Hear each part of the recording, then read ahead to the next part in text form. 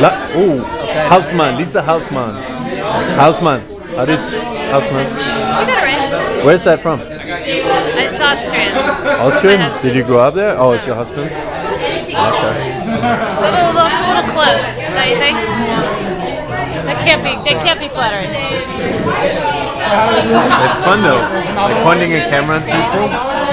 Be right back.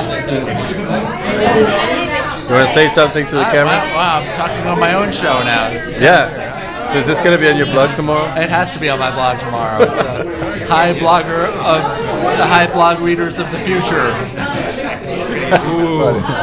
So how do, how do I stop it? I press the red.